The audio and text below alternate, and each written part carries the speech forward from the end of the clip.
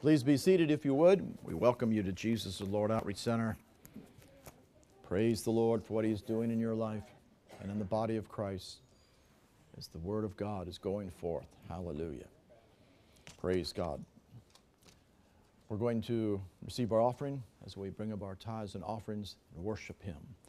Father, we thank you and praise you for the opportunity to bring up tithes and offerings unto you. We give freely, we give excitedly, we give because we want to. We know that you're multiplying the seed sown. Father, we thank you that you are causing all grace to abound toward us, that we have all sufficiency in all things, and may be able to abound to every good work. Father, we thank you and praise you for meeting the need of every individual according to your riches and glory by Christ Jesus. In Jesus' name, amen. Ushers, wait on, wait on the people if you would.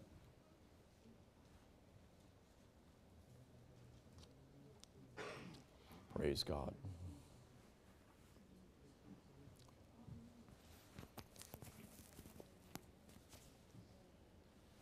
Praise the Lord.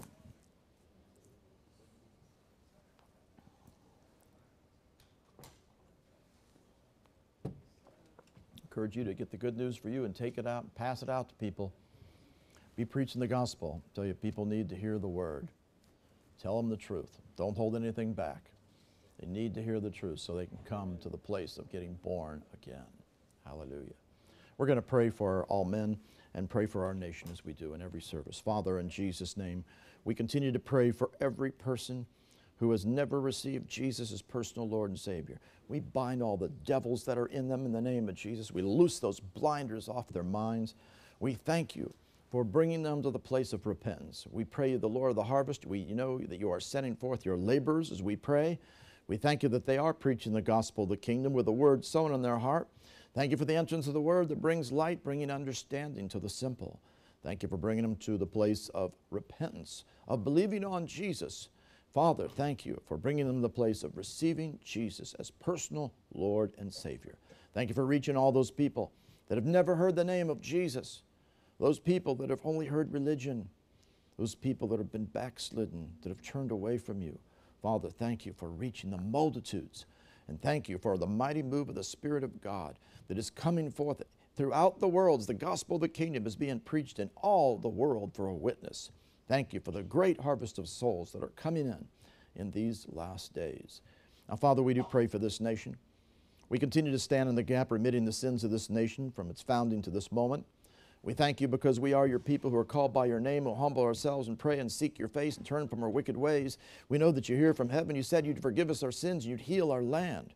And we thank you that we have authority and dominion over the works of the enemy because our battle is not against flesh and blood, but it's against those principalities, powers, rulers of darkness, spiritual wickedness, the evil spirits operating over this nation.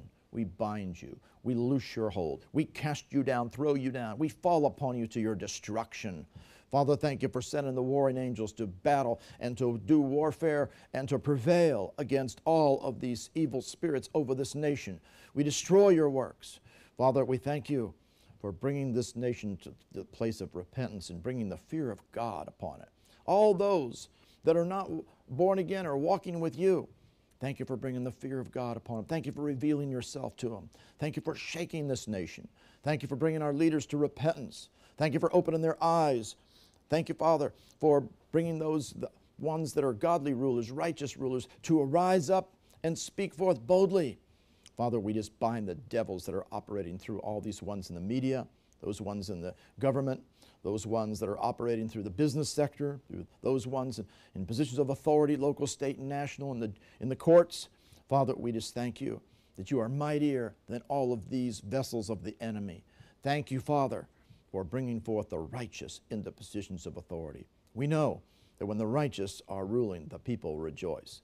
Thank you for bringing the people to the place of crying out for righteous government and demanding that the things of the Word of God, the Constitution, the way its things have been set in this nation, be enforced in line with the laws. Father, we thank you for all that you're doing to reach this nation, to bring it to repentance. Thank you for sending a mighty move of the Spirit of God to turn it back to righteousness. Thank you for your restoration. In Jesus' name, amen. Praise God. Hallelujah.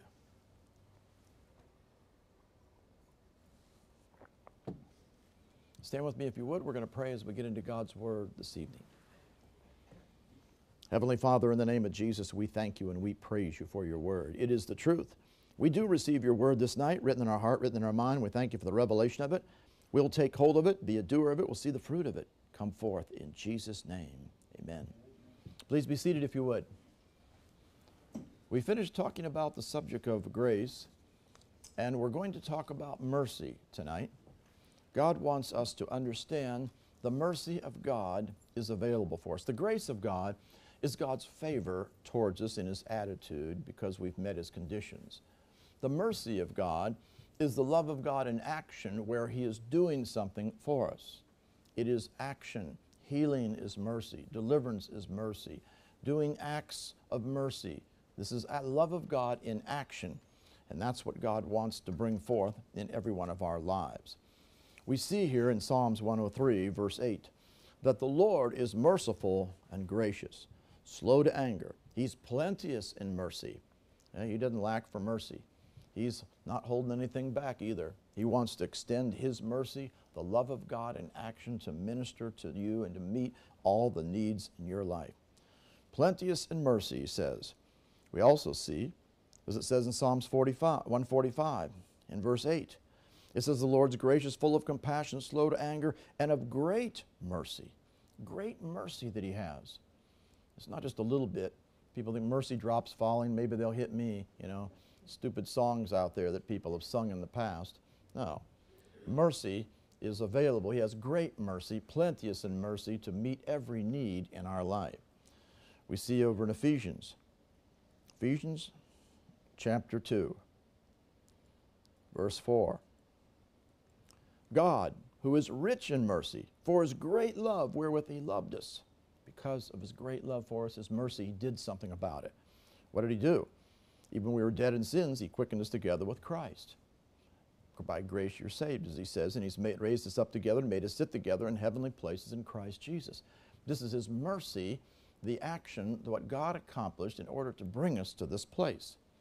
We also see over in 2 Corinthians chapter 1 and verse 3, it speaks of the Father as the Father of mercies. It says, Blessed be God, even the Father of our Lord Jesus Christ, the Father of mercies and the God of all comfort. He's the Father of mercies, and He will bring forth His mercy in our life. We know Jesus is also one who is merciful. We see in Hebrews chapter 2, it speaks of Him down in verse 17. And it says here that, wherefore in all things behoveth Him to be made like unto His brethren, and he, he might be a merciful and faithful high priest in the things pertaining to God to make reconciliation for the sins of the people. He is a merciful and faithful high priest. His mercy is ready to be released, and he's faithful, ready to perform his word in our life. We need to understand mercy. We even see a statement over in Matthew 23, verse 23. Matthew 23, 23. This is where Jesus is speaking to these scribes and Pharisees, calling them hypocrites. He says, You pay tithe of mint and anise and cumin and, and omitted the weightier matters of the law, things that were really important judgment, mercy, and faith. These ought you to have done and not to leave the other undone. It means these were pretty important things to God. Mercy is one of the weightier matters of the law. He wants us to understand this, He wants us to operate in it. Now, if we're going to see the mercy of God that's available for us, we do have to meet the conditions. It's not going to happen just because we want to see God's mercy. We must meet the conditions to see mercy come forth. In Genesis chapter 39, here we see it speaking about Joseph. Genesis 39, verse 21, it says, The Lord was with Joseph and showed him mercy and gave him favor in the sight of the king, of the keeper of the prison. He showed him mercy. Why? Because he refused to sin. He refused to lie with Potiphar's wife. He refused to. He wasn't going to do what was wrong in God's sight. And God showed him mercy. When we do what's right in God's sight and we won't sin and we'll walk in his ways, then we're not only going to get favor, but we're also going to be shown mercy by the Lord. We see in Exodus chapter 20. Exodus chapter 20 in verse 6. It says, showing mercy unto who? Everybody? No thousands of them that love, that love me and keep my commandments. So who's mercy shown to? The ones that love him. Who are the ones that love him? To keep his commandments. If you're walking in the commandments of God, you're walking in his ways, then God's mercy will be shown towards you in your life. We see over in Numbers chapter 14. Numbers chapter 14, when it talks about the inherited generational iniquity curses that come on generations because of the sins, it says in Numbers 14, 18, the Lord is long suffering and of great mercy. He doesn't want these curses to come. It says he forgives iniquity and transgression. He does, he forgives it. But by no means will he clear the guilty, the ones that haven't dealt with their sins, that are guilty. The visiting of the iniquity of the fathers is upon the children of the third and fourth generation. That's because he's just. He is a just God.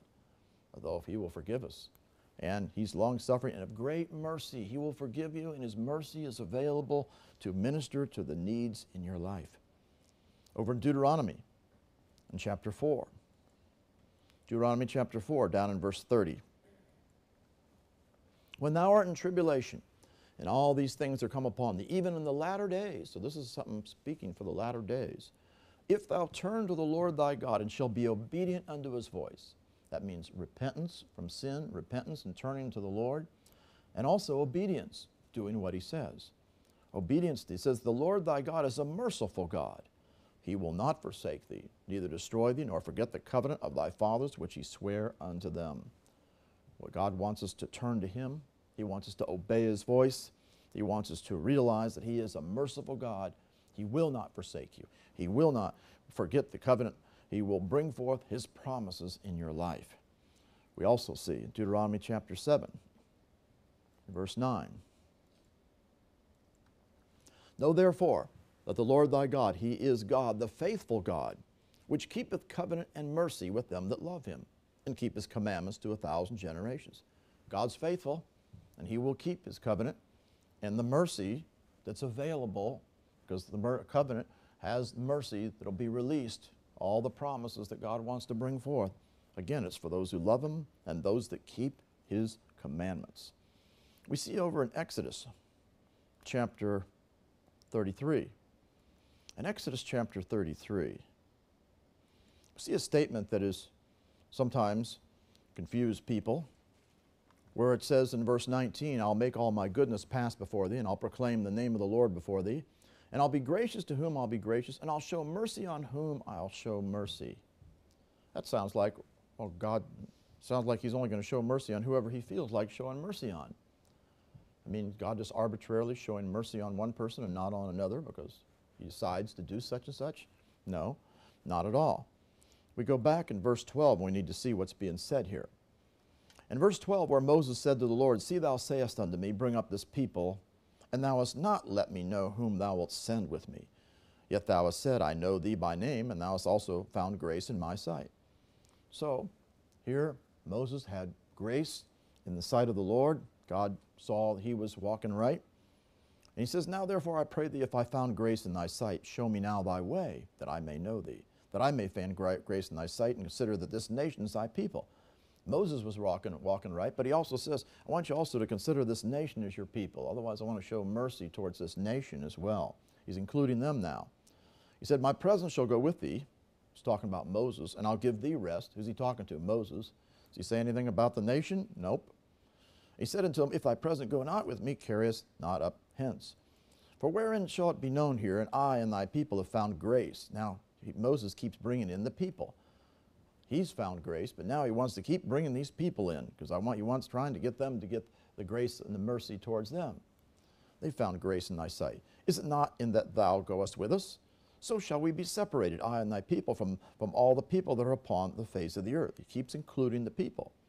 The Lord says to Moses, I will do this thing also that thou hast spoken, for thou, you, have found grace in my sight, and I know you by name. He keeps on repeating, saying back, Yeah, it's for you, but he ignores talking about the people. Why? Because they were rebellious, they were stubborn, they were not walking in God's ways. So he keeps on. He says, I beseech you, show me my glory. And he said, I'll make all my goodness pass before you, and I'll proclaim the name of the Lord before thee or you. And I'll be gracious to whom I'll be gracious, and I'll show mercy on whom I'll show mercy. Otherwise, is just him arbitrarily saying that? No, he's essentially saying, I'm going to be gracious to whom I'm going to show grace and mercy to show I'm going to mercy. Those who have met my conditions that I want, that I'm going to show it forth to, which was Moses. Was it for the people?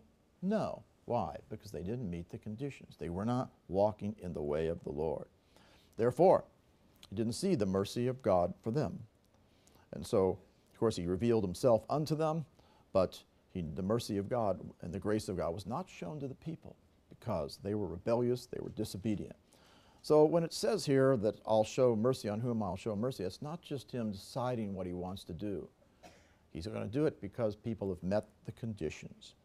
We see over in 2 Samuel, so that means you and I are going to have to meet the conditions of walking in his ways if we're going to see the mercy of God come to pass.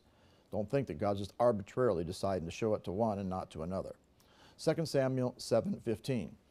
My mercy shall not depart away from him as I took it from Saul, whom I put away before thee. Well, he took it away from Saul because Saul was rebellious. Who got repl- who replaced him? It was David. His mercy would not depart from him as he was walking in the ways of the Lord. That shows the fact that, again, if we meet God's conditions, we'll see mercy. If we don't, as he took it away from Saul, it can be taken away from us. It's not automatic just because we're born again or we walked right with the Lord at one point in time. No. We've got, he disobeyed and he lost his kingdom and he lost the mercy of God. We see in 2 Samuel 22, verse 26 With the merciful wilt thou show thyself merciful, and with the upright man thou wilt show thyself upright. Otherwise, if you're merciful, then you're going to see mercy is going to be shown towards you. With the merciful, those that are merciful, then he'll show yourself that way. That's why you've got to always extend mercy to others. You can't be judgmental, can't be critical, can't be negative. Remember, you're always going to give people what they have need of, not what they deserve. You're going to extend what God wants for you to give to them. We see another reason why people, uh, conditions for mercy, and this one shows you why people don't get mercy. It's in Isaiah chapter 27, down here in verse 11. Isaiah 27 11, he says here, speaking of these people, it says, For it is a people of no understanding. Why wouldn't they have understanding? Because they weren't doing what the word says. Therefore, he that made them will not have mercy on them, and he that formed them will show them no favor. No favor, no mercy for those that don't have understanding. Again, who gets the understanding? The ones that hear the word and do the word, spiritual understanding is going to be imparted unto you. It all is tied in with you walking in line with the word of God. We see a scripture over in 1 Kings. 1 Kings chapter 3 and verse 6 tells us something else. Solomon said, Thou hast showed unto thy servant David my father great mercy. He saw great mercy. Why? According as he walked before thee in truth. Now, he had a track record. He was walking in truth. You and I need a track record of walking in truth. Not just going to turn today and decide, I want mercy, and then you haven't been walking right. No. He was walking with him in truth, in righteousness, and in uprightness of heart with thee. Because of his walk in line with the word and the way of righteousness and uprightness, then that's why he got great mercy. The same will be said for you and me. 1 Kings chapter 8, verse 23. He said, Lord God of Israel, there's no God like thee in heaven above or on earth beneath, who keepeth covenant and mercy with thy servants that walk before thee with all their heart. It's another point. We can't just be doing the word half heartedly. We got to do things with all of our heart. You just don't go through the motions with God. You're either 100% with Him or you're not. Remember, the lukewarm, they get spewed out. The ones that are hot are going to be accepted with Him. He wants you to do things with all of your heart, not half heartedly. We see over in Psalms 103. Psalms 103. Pick up in verse 11. Conditions for the mercy of God. As the high, heaven is high above the earth, so great is His mercy. It's great, but who's it towards? Anybody? No. It's for them that fear Him. See, this is why people think they want to, I want to get God to pray, somebody to pray for me to get healed, and you're not walking right. It's not going to happen. This is also why we don't pray for the unbelievers for all the promises of God to come to pass. Someone recently came and wanted me to pray for someone, and I first question was, "Is they born again?" He said, "No." I said, well, what we're going to do, we're going to pray for them to get born again, come to the place of being in covenant relationship with God, and then pray oh, that as they, then they're going to, to take hold of the mercy and receive the healing, the deliverance, the things that they have need of.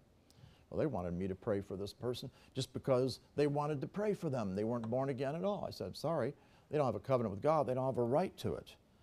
Great is his mercy towards those that fear him.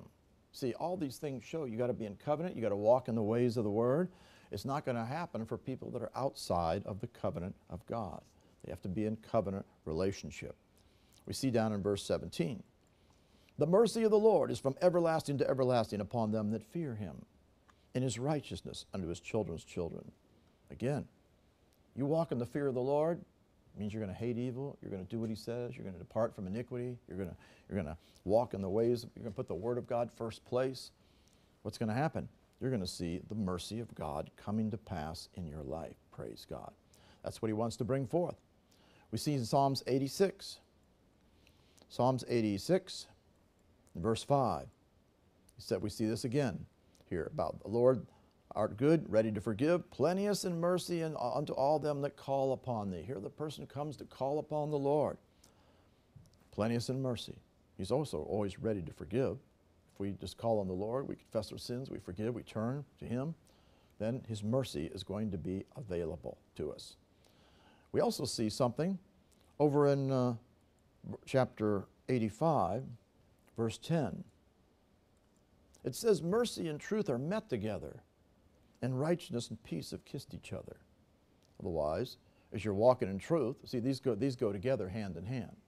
They meet together because when you walk in truth, you'll see the mercy. You don't walk in truth, no mercy. Same thing, when you're walking in righteousness, you're going to have peace. You don't walk in righteousness, you walk in unrighteousness, you're not going to have peace. They, they go hand in hand. If you have one, you're going to have the other. That's why we got to walk in truth if we're going to see the mercy of God be manifest in our life. Over in Second Chronicles, chapter 30. Second Chronicles 30, down in verse 9. If you turn again unto the Lord, your brethren and your children shall find compassion before them that led them captive so that they shall come again into this land. For the Lord your God is gracious and merciful, and will not turn away his face from you if you return to him.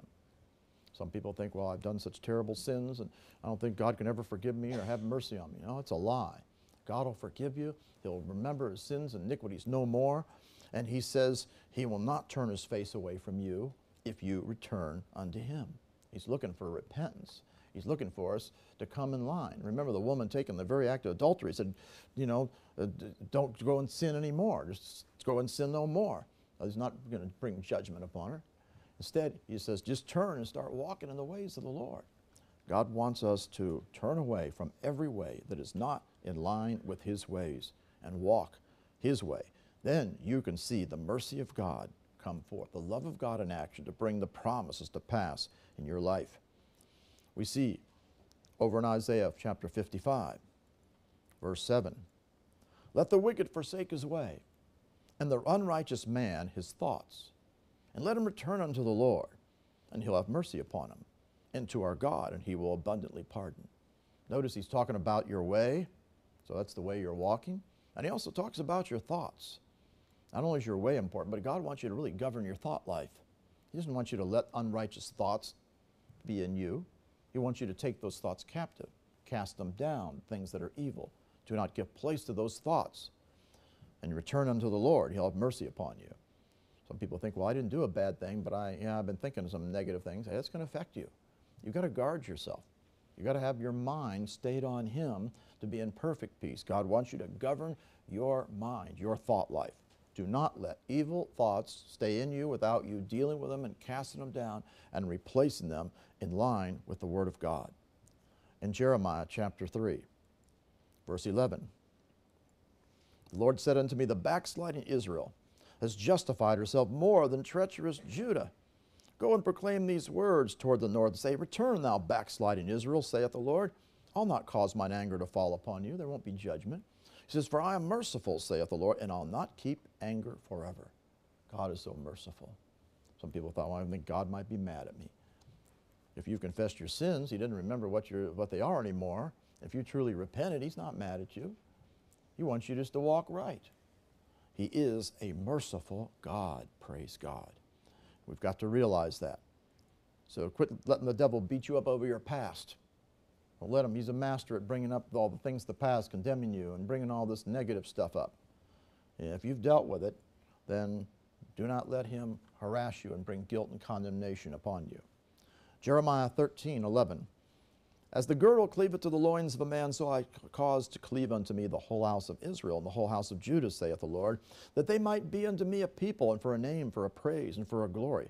That's what God wanted. But they wouldn't hear. No, they wouldn't listen.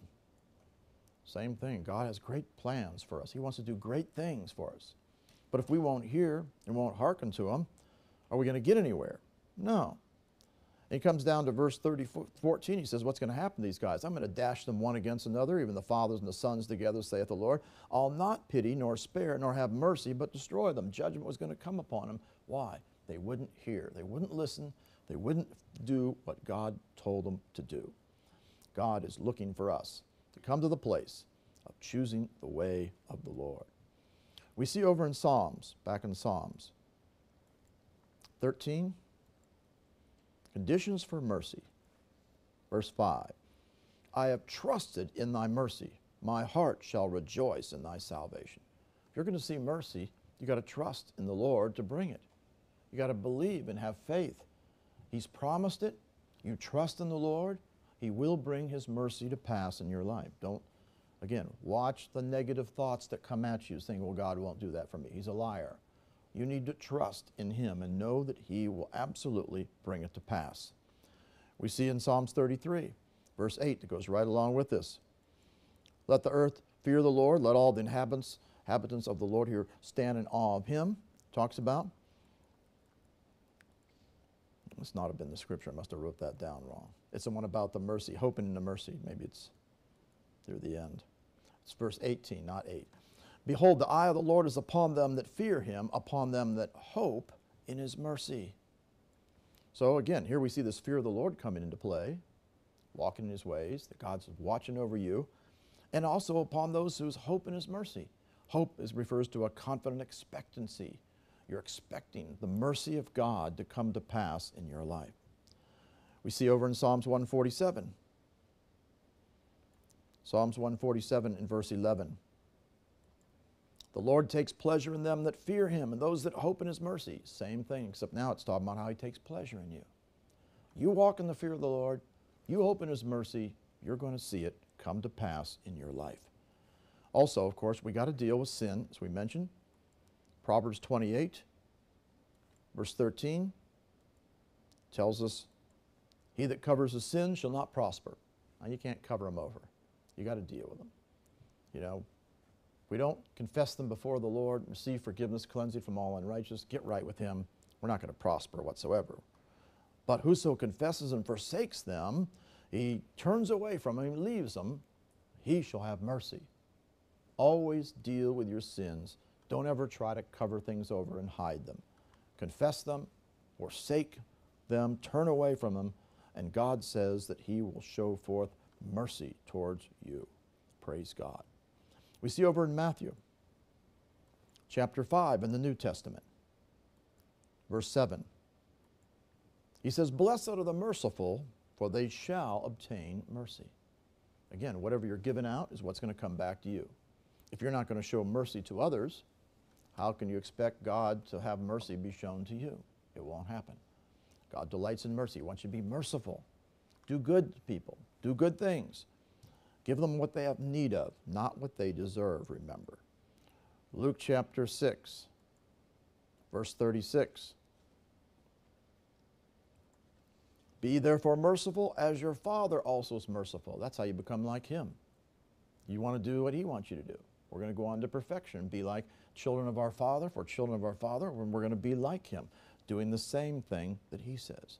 So we're going to do everything that's merciful from God's standpoint. We also see in Colossians 3, verse 12. It says, Put on therefore as the elect of God, holy and beloved, bowels of mercies, show compassion, kindness, humbleness of mind, meekness, long suffering towards others. That's the attitude we have to have. Forbearing, that means holding one up, not tearing them down. holding up one another, forgiving one another. If any have a quarrel against thee, even as Christ forgave you, so also do you. You cannot allow negative things to be in you on, regarding relationships. It will shut off the mercy of God and the blessings of God coming forth in your life. We also see that we're to show mercy to those people that are poor. We want to have wisdom. You don't just give money to the guy that's a drug addict who's going to go out and spend all the money on drugs. That's not exactly too wise. Proverbs 14, verse 21 says, He that despises his neighbor sinneth, but he that has mercy on the poor, happy is he. You're going to be happy or you're going to be blessed, this means. You're going to have wisdom. You're going to you know, get them something they have need of. Don't just put money in their pocket where they can go and blow it. So he says, Do they not err that devise evil? But mercy and truth both shall be to them that devise good. Look for the good things to do.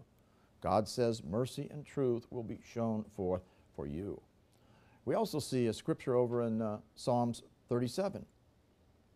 Psalms 37, as we're looking at conditions that are so important.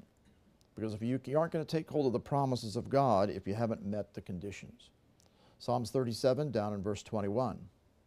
The wicked borrows and pays not again, but the righteous shows mercy and gives. God's, you're, you're a giver. You're to be a giver. It's one of the graces. God wants you to be a giver to help meet the needs of other people. Praise God.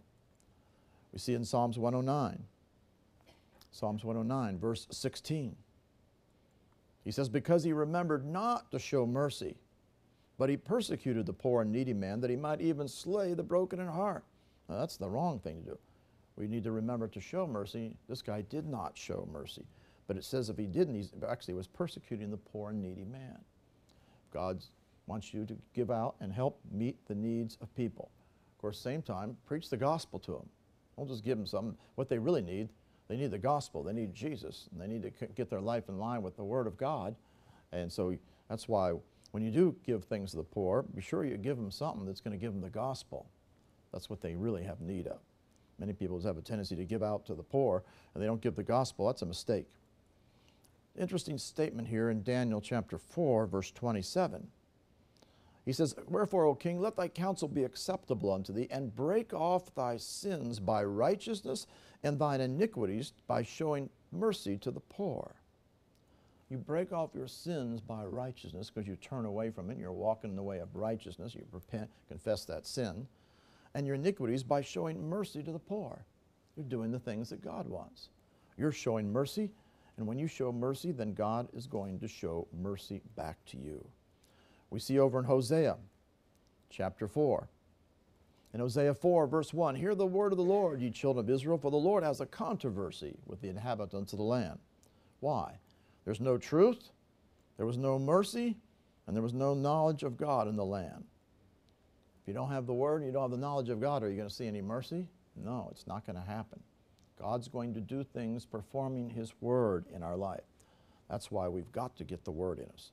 And when you have the Word in us, you need to sow that Word by speaking it and or acting upon it to see God bring forth mercy.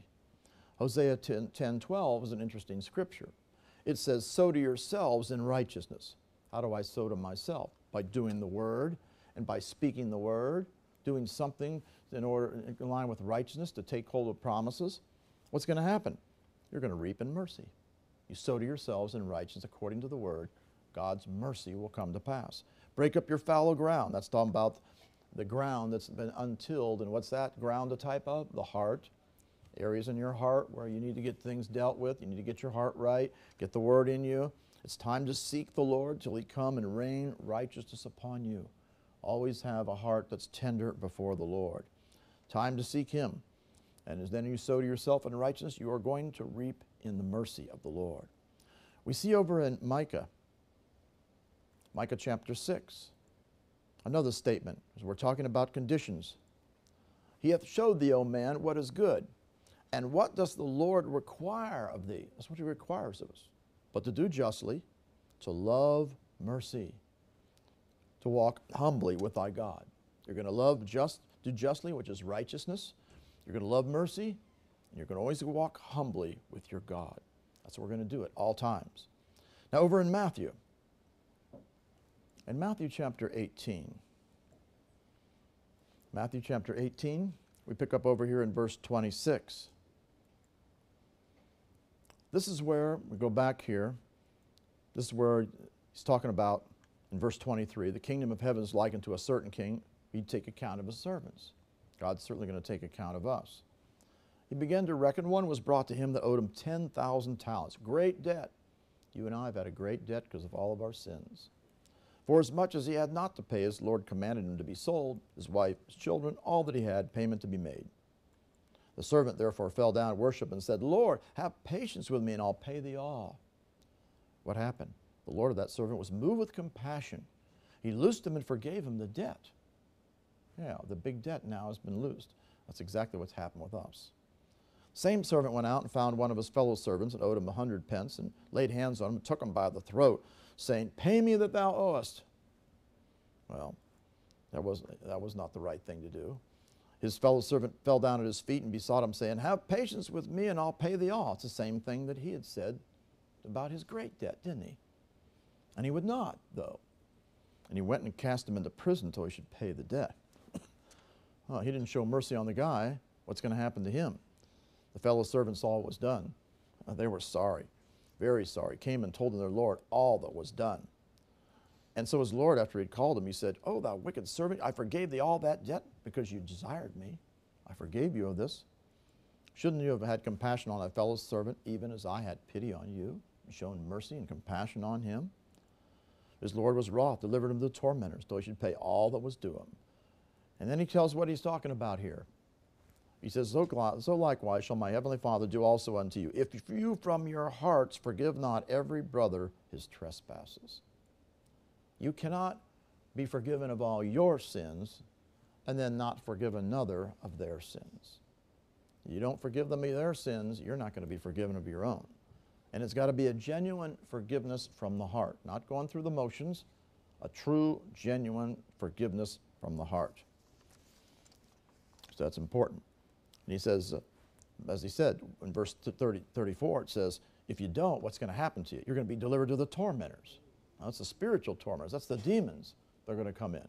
Unforgiveness is going to open up the door to allow evil spirits to come into a person. God wants us to make the right choice. Always forgive at all times in our life. We also see over in Romans chapter 12. In Romans 12, verse 1, I beseech you, therefore, brethren, by the mercies of God, that you present your bodies a living sacrifice, wholly acceptable unto God, which is your reasonable service. This is what you're supposed to do. Through the compassions of God, you showing forth action, what God wants, you're going to present your body a living sacrifice that's holy and acceptable unto the Lord. That's our job. You do that, and then God's going to see the fact that you're living unto Him and you're yielding yourself unto Him, and He's going to bring His blessings upon you in your life. We see over in verse 8, this is where it's talking about the different gifts according to the grace that's given to us. It talks about prophesy, prophesy according to the portion of faith on your ministry. Let us wait on the ministry, and he that teaches on teaching. He exhorts exhortation. He that gives, let it do with simplicity. He that rules with diligence. He that shows mercy with cheerfulness. You got to do it with the right attitude of heart, with a cheerfulness, readiness of mind. Otherwise, you don't do it because I have to or ought to do it. No, you should be doing it with a cheerfulness, a readiness of mind, carrying out the ministry that the Lord has. Otherwise, you don't do things grudgingly. We see over in James, James chapter 2. In James chapter 2, down in verse 10. Whosoever shall keep the whole law and yet offend in one point, he's guilty of all. That's why, praise God, we're not under the Old Testament law any longer. They list all these things out. So speak ye and so do ye as they that shall be judged by the law of liberty, which is the New Testament law. We want to be sure we're speaking and doing the right things. For he shall have judgment without mercy that has showed no mercy. Mercy rejoices against judgment. Otherwise, if you don't show mercy, you're going to have judgment without mercy. Whatever you show to others is what is going to come back to you. You do to others as you would have them do unto you. We see over in Jude, if you will walk in love, you will see the mercy of God coming forth in your life. Look what it says in Jude, verse 21. Keep yourselves in the love of God, looking for the mercy of our Lord Jesus Christ unto eternal life. It's interesting, this word looking for here is the word prosdechomai. Remember we talked about the words receive, and most of the time we're talking a lot about lambano, taking hold of. This is the other word, dechomai, the opposite, which is a accepting of something coming to you. And that's what this is talking about. Keep yourself in the love of God, and you, you can then accept the mercy of the Lord Jesus Christ because it'll be coming to you because you met his condition, because you are keeping yourself in the love of God. You walk in the love of God, mercy is going to be shown unto you. We see over in Matthew chapter 25 quite a statement that's made here. Verse 31 and following. The Son of Man, when he comes in his glory and all the holy angels with him, he'll sit upon the throne of his glory. And he's going to gather all the nations. He's going to separate them one from another as a shepherd divides his sheep from the goats. He's going to find out who's on which side. He'll the, set the sheep on his right hand, but the goats on the left.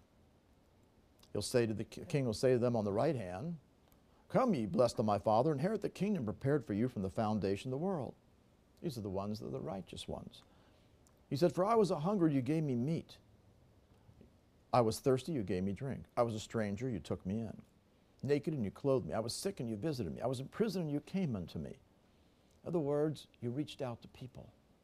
Then shall the righteous answer him and say, Lord, when saw we thee a hungered, fed thee, thirsty, or gave thee drink?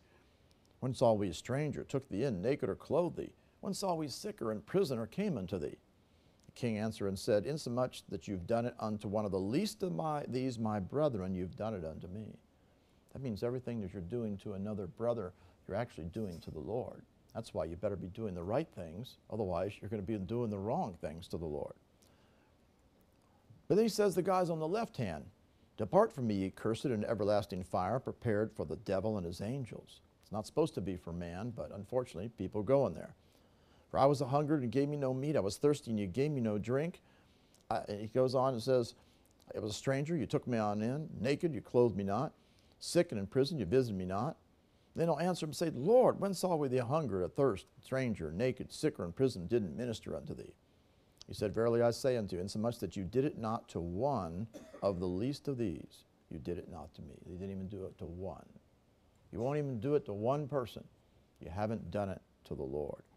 He said, These guys weren't serving the Lord at all.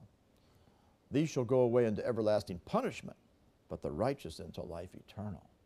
These are the ones that called him Lord. So was referring to people who were born again, but they didn't do what God told them to do. They ended up going to everlasting punishment. You see, mercy is going to be shown because you show mercy. It's going to be acts of mercy. Mercy is always something that's being shown forth, released. And so God wants us to be showing mercy so we can see mercy. Now, what's mercy going to do for you? One thing, you know, God has promised that He will perform the mercy of the Lord according to the covenant. We see in Luke chapter 1, down in verse 70 as he spake by the mouth of his holy prophets, which have been since the world began, that we should be saved from our enemies, from the hand of all that hate us, to perform the mercy promised to our fathers and to remember his holy covenant. All these covenant promises are given to us, and they get performed. That's the mercy of the Lord performing them in our life to bring them to pass. God will do it. He watches over His word to perform it. He will absolutely bring it to pass in our life if we will do the things that He says. We see over in Genesis, mercy will lead you and guide you in the way that you go. When you meet the conditions, God will lead you. We see a scripture in Genesis 24, down here in verse 27. Here's where the master was going to get a wife for his, uh, for his master. Uh, the, the, servant was. He said, Blessed be the Lord God of my master Abraham, who hath not left destitute my master of his mercy and his truth. I being in the way, the Lord led me to the house of my master's brethren. Otherwise, he didn't leave me uh, with no mercy or truth. He being in the way, which means he was walking in the, the type of him walking the way of the Lord, God led him to where he was supposed to go. When you're walking in the truth, remember, mercy is going to happen. You walk in the Word, The mercy of God, that means as you walk in the Word, God's mercy will be shown to you in the fact that He will lead you and guide you to the things that He has for you. We see over in Exodus chapter 15, over in verse 11. Who is like unto thee, O Lord, among the gods? Who's, who's like thee, glorious in holiness, fearful in praises, doing wonders? Thou stretchest out thy right hand, the earth swallowed them. Thou, in thy mercy, hast led forth thy people which thou hast redeemed. God will lead you. He's guided them in thy strength unto thy holy habitation. God will always lead you in the way of holiness, of course. He's always going to lead you to the right place, to the right habitation. He's going to lead you forth if you are walking in the ways of the Lord. The mercy of God is available for us. God is such a merciful God. We see over in Genesis chapter 19. Remember, the angels came.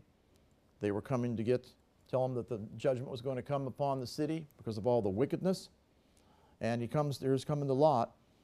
Genesis 19:15. When the morning arose, the angels hastened Lot, saying, Arise, take thy wife and thy two daughters which are here, lest you be consumed in the iniquity of the city, because there's going to be a judgment coming. While he lingered, the men laid hold upon his hand, upon the hand of his wife, upon the hand of his two daughters, and the Lord, being merciful unto them, they brought him forth and set him without the city.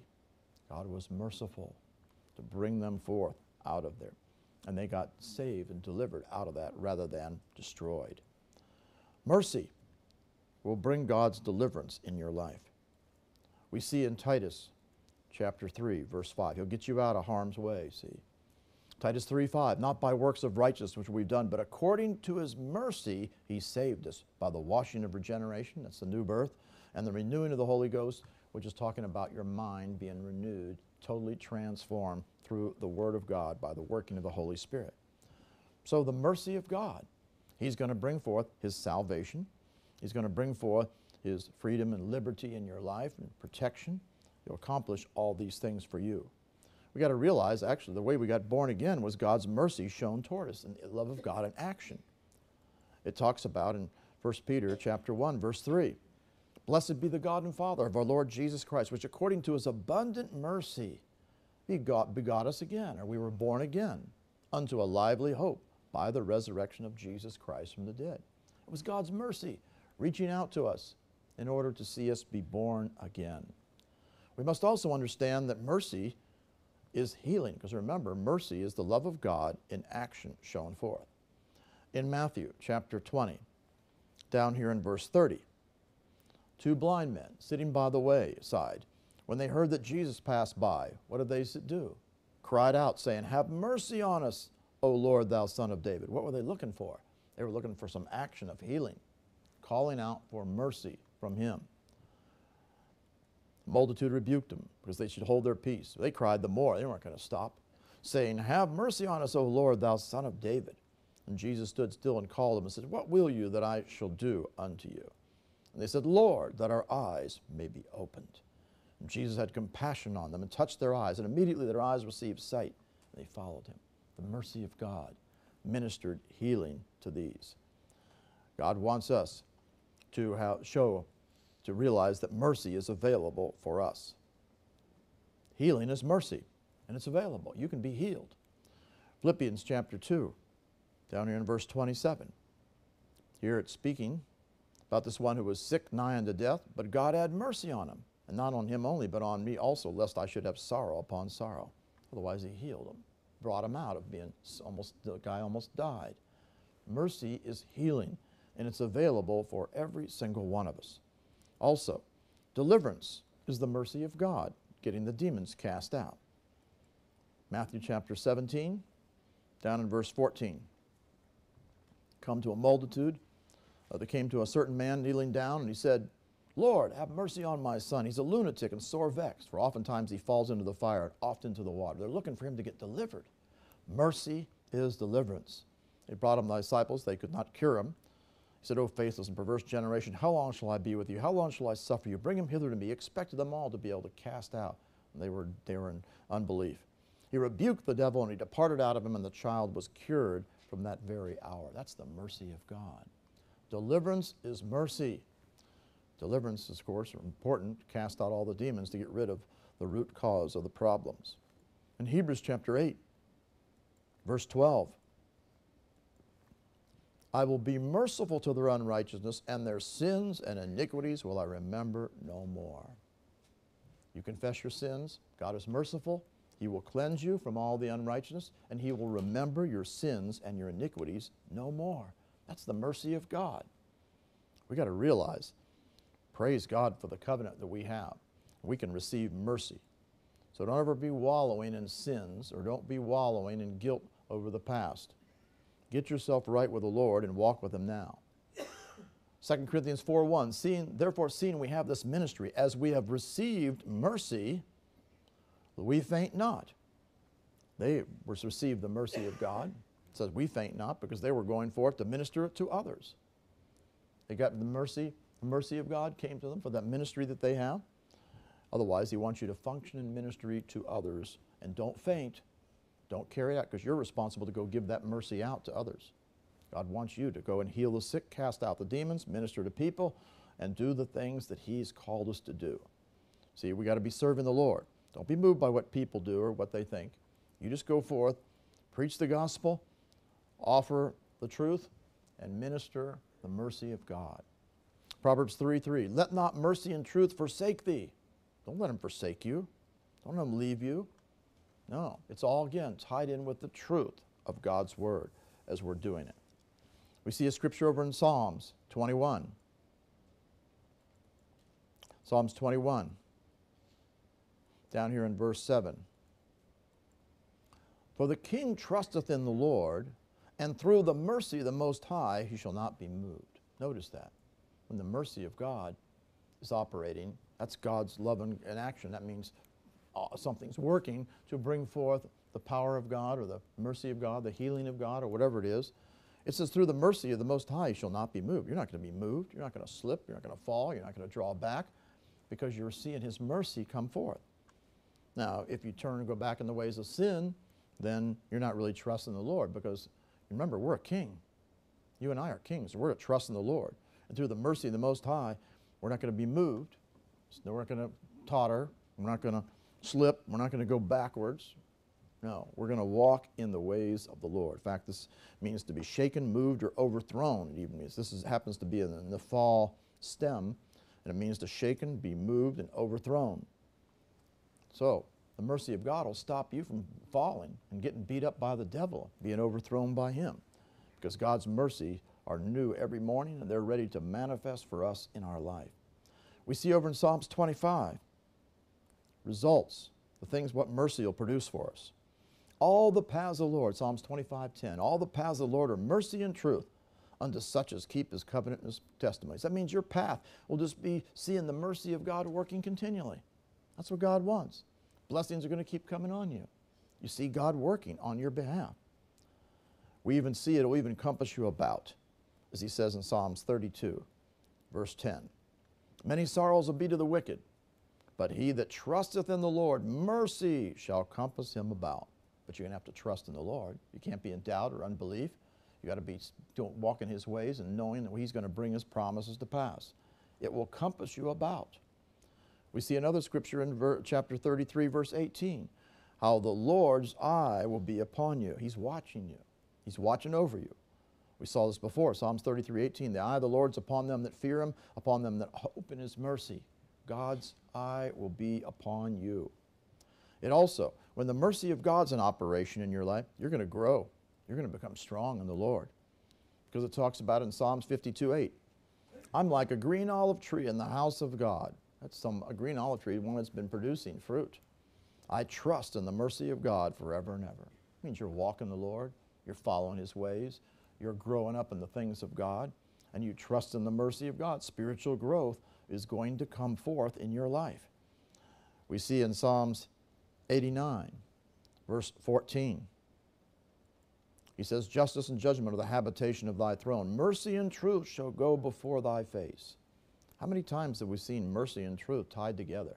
It's all over the place. As you walk in the truth, so shall be the mercy of God in your life. That's must realize that's the way we're going to walk. That's why you got to put the word first place in your life at all times. Psalms 94, 18. I said, When my foot, my foot slippeth, thy mercy, O Lord, held me up. God's mercy will come and hold you up, build you up, hold you up in that situation. Remember, we don't have to totter, we don't have to fall, we don't have to uh, slip, as it says here. The mercy of God will hold you up. Also, when you're showing merciful to others, remember, whatever you give out, it's going to be given back to you. Whatever you sow, you're going to reap. Look what it says, Proverbs 11, 17. The merciful man, he does good to his own soul. It's going to come back to you, isn't it? It's going to minister life to you. But the guy that's cruel, he troubles his own flesh. That's why you can't be cruel. You can't be mean. You can't be doing evil things, be anger, retaliating, you know, treating people wrongly. You're going to trouble yourself. You're going to bring curses on you. But the merciful man does good to his own soul. Proverbs 16, he says over in verse 6 By mercy and truth, iniquity is purged. Here we have it again, don't we? It's continual. And by the fear of the Lord, men depart from evil. By mercy and truth, iniquity is going to be purged. It's going to be cleansed out from a New Testament standpoint. And the fear of the Lord, men depart from evil because God's mercy will come forth to cleanse us. In Proverbs 21, verse 21, he says, He that follows after righteousness and mercy, he's going to find life, righteousness, and honor. Righteousness and mercy. We need to follow the right way, but we also need to be showing mercy. Some people follow the right way, but they don't show mercy. Well, that's going to be a hindrance. You need to do both. Follow after righteousness and mercy. You're going to find God's life. You're going to find His righteousness. You're going to find honor, honor from the Lord. Now, in the New Testament, we must understand because of what Jesus has done for us, we now, in Christ, have a right to the mercy of God. It is part of our covenant promise. Look what it says in 1 Peter 2:10. In time past, we were not a people. We weren't born again, but are now the people of God. We've been born again. We had not obtained mercy because we weren't in relationship with Him. But now we have obtained mercy. That, that's our standing in Christ as far as our legal right because it's part of our inheritance. All the past tense scriptures are declaring what belongs to you in Christ, that you have obtained mercy. Does that mean that all I do is just confess this scripture? I already have obtained mercy and it's going to come to pass? No. This is your legal right, what belongs to you. There's something that you're going to do to see your legal right of mercy come into manifestation. That's where your faith comes in, as it says in Hebrews 4:16.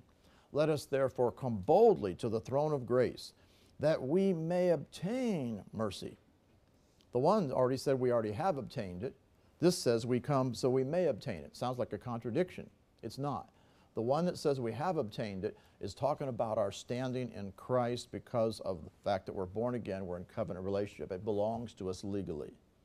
But this tells us what to do experientially to see what belongs to us in Christ manifest. We're going to come boldly to the throne of grace and we're going to obtain, which means lambano, take hold of mercy and find grace to help in time of need. That's why you're going to learn to pray. When you pray, you're taking hold of the promises of God, you're taking hold of the mercy to be released, the promises of God to come to pass in your life. So prayer is going to see mercy be released and come into manifestation. We see over in 2 Timothy chapter 1 and verse 18. The Lord granted him that he may find mercy of the Lord in that day, and in how many in how many things he ministered unto me at Ephesus thou knowest very well. He's talking about how he ministered to him. And he says, Because he's ministered to me, all these many things, the Lord grant unto him that he may find mercy. You see, again, you show mercy to someone else in ministry, God's going to show mercy back to you. That's why he wants you out reaching out to people, doing something. Praying is a good thing, but he wants you to get out there and do some things, ministering to people's needs. We need to do these things. You're going to find mercy. And the me measure that you're ministering to others will be the measure that God will bring forth mercy in your own life. We see something back in Jonah that's interesting. Jonah had the ability to get mercy, even though he was in rebellion, if he would repent. Remember, God's mercies are available. And in Jonah's situation, remember he had rebelled. He wouldn't go to preach the gospel at Nineveh like he was supposed to. And so he ended up going overboard, ends up in the fish's belly, It was rebellion. And he's about done. And he says, When my soul fainted within me, in Jonah 2 7, I remembered the Lord. And that was good. The Lord could get me out of this. And my prayer came in unto thee into thine holy temple. He began to pray and began to seek God. Always go to the Lord in every situation. They that observe lying vanities forsake their own mercy. What does this mean? This means if they're observing or giving heed to lying vanities, which is the state that he was in at that point in time. There, I'm in the fish's belly. Looks like it's all over for me. They forsake their own mercy. Otherwise, if I'm looking at my circumstances and think that God's mercy can't get me out of it, I'm going to let go. I'm going to forsake, which means to relinquish, let go, and leave off the availability of the mercy of God to come on the scene to minister to my need. Don't ever think that God can't bring forth His mercy in your life. You pay attention to those things, you'll let go of the mercy. You get your eyes on what the Lord says, now you're in the place where God can bring mercy to you. Look what He says. He's now, he says, what, the right thing. I'm going to sacrifice unto thee with a voice of thanksgiving. I'm going to start thanking you for your mercy. That's the way you take hold of it. I will pay that I vowed. He had to repent. Okay, I, I repent. I'm, I confess this sin. I'm going to pay what I vowed. I'm going to go and I'm going to preach the gospel like I should. Salvation is of the Lord. Of course, he knew who, who his source was. God's the one who's going to save me and deliver me out of this situation. So he met the conditions. He repented, certainly obviously confessed his sin, had a heart change of heart. He started thanking God for delivering him and declaring that he was the one who would deliver him and save him out of the situation. What happened? The Lord spake to the fish and vomited out Jonah upon the dry land. Don't look at your circumstances and think that mercy is not available. It's a lie. Even if you're in something because of walking contrary to God's ways, you confess your sins. You receive, you get in line with what He tells you to do. You trust in the Lord. You begin to thank Him for His mercy coming forth in your life. Be sure that you've repented and you're dealing with everything in your life because you can't go back and walk in sin and think you're going to get any mercy. And you're going to have to be, start thanking Him for saving you, delivering you, doing whatever is necessary to bring you out of that bondage. And then God will bring you out of it. See, you got to know the character of God. Is God delighting in judgment? No. He's delighting in mercy. Look what it says in Micah 7 8, 18. Who's a God like unto thee that pardons iniquity, passes by the transgression of the remnant of his heritage? He retaineth not his anger forever, because he delighteth in mercy. God delights in showing mercy to you, wants delights in showing mercy to others. That's why you need to delight in showing mercy to others. If you won't delight in showing mercy to others, others why should you get any mercy from Him? See, you're going to be like God. You're going to act like God in ministering to others. And that is so important. Remember, it doesn't matter what they deserve, it only matters what they have need of. James, God's the one who is the judge, and he'll take care of the situation, that's for sure. But he delights in mercy. He doesn't want people to be under the judgment. James 3:17. The wisdom that's from above is first pure, then peaceable, gentle, easy to be entreated, full of mercy and good fruits, without partiality, without hypocrisy. You call out for wisdom. God's wisdom is always going to be full of mercy. It's going to be showing you what to do. It's going to be bringing the mercy of God to you, leading you and guiding you, bringing forth His promises, showing you what to do in every situation. We also see that the end of the Lord, Lord's, it says here in James chapter 5, down in verse 11, Behold, we count them happy which endure. You've heard of the patience of Job and seen the end of the Lord. The Lord is very pitiful and of tender mercy. God's of tender mercy. You see, we got to realize His mercy is available to us, and it's always available. I mean, the Bible talks about how His mercy are new every morning. Look over at Psalms 136. Psalms 136. If you are needing mercy, Read the whole psalm. It'll get it through you eventually. Oh, give thanks unto the Lord, for he's good, for his mercy endures forever. Thanks to the God of gods, his mercy endures forever. Keep saying it. Thanks to the Lord of lords, his mercy endures forever. To Lomu, who does great wonders, for his mercy endures forever. God's great wonders is his mercy. By wisdom he made the heavens. His mercy endures forever. He stretched out the earth above the waters. His mercy endures forever. He made the great, great lights. Everything that he does, because this is all things that he does, right? That's his mercy, showing forth. Sun to rule by day, is mercy. Moon and stars to rule by night, that's his mercy. Smote Egypt and their firstborn, that was his mercy to deliver them out of that. Brought out Israel from among them, that was his mercy, delivering them. Strong hand, stretched out arm, for his mercy endures forever. Divided the Red Sea to deliver them, mercy endures forever. Israel to pass through the midst of it, that was all the mercy of God. Everything that God is doing is the mercy of God. Overthrew Pharaoh and his host in the Red Sea, his mercy endureth forever.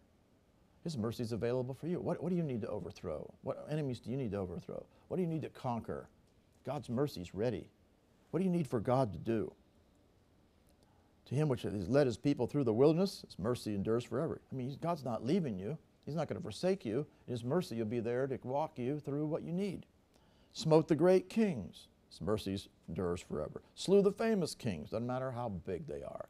The giants all fall. Sihon, king of the Amorites. Og, the king of Bashan, all these ones, gave their land for a heritage. The heritage here, for his mercy endures forever. He says this about every single one of these. He redeemed us from our enemies. His mercy endures forever. Give food to all flesh. He wants people, he gives food to everybody. That's his mercy. You know, he doesn't want, doesn't want famine. Give thanks unto the God of heaven, for his mercy endureth forever. Every single verse talks about his mercy endures forever. God's mercy. You got to look every day. Think about taking hold of and receiving the mercy of God. Come boldly to the throne of grace and start taking hold of mercy by speaking the promises into being. Do it with thanksgiving and know that God is going to bring it to pass in your life. Praise God. Again, gives thanks, Lord. He's good. His mercy endures forever. Same thing through Psalms 118. He talks about, again, you go through this one and you see the very same thing being brought forth. Psalms 23. Down in Psalms 23, it speaks about the Lord is my shepherd. And this is really a New Testament psalm as far as when it's fulfilled, because now he's the great shepherd of the sheep. If the Lord's your shepherd, which means you're a sheep, and that's in the New Testament era, we're going to follow him, walk in his ways. I shall not want. That means no lack, because God's going to meet your needs. That's because of his mercy. He makes me to lie down in green pastures. That's prosperity. Prosperity. That's where they would be able to feed on whatever they had need of. He leads me beside the still waters. That's peace. God's going to bring peace in your life. He doesn't want everything to be all stirred up with all kind of problems. He restores my soul. That's the mercy of God to bring restoration to you. He wants to heal you, wants to deliver you, wants to restore your soul, all hurts, wounds, damage, get rid of all the evil stuff out of you. He leads me in the paths of righteousness for his name's sake. He'll always lead you in righteousness. That's his mercy to go the right direction. Though you walk through the valley of the shadow of death here in this world, I'll fear no evil, for thou art with me. Thy rod and thy staff, they comfort me. That's the rod, which is type of Jesus. The, com- the staff's a type of the Holy Spirit. Two comforters. We have the Word, Jesus, and the Holy Spirit comforting us. Thou preparest a table before me in the presence of mine enemies. That's right, the enemies are all around, but it doesn't matter. The table of blessing will be available for you. He anointed my head with oil, and my cup runneth over. The anointing of God is upon us.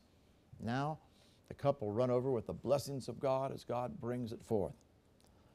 And why is this? Because surely goodness and mercy shall follow me all the days of my life, and I will dwell in the house of the Lord forever. So if you're looking for mercy, it's, it's right there. It's following you all the days of your life if you're walking in His ways.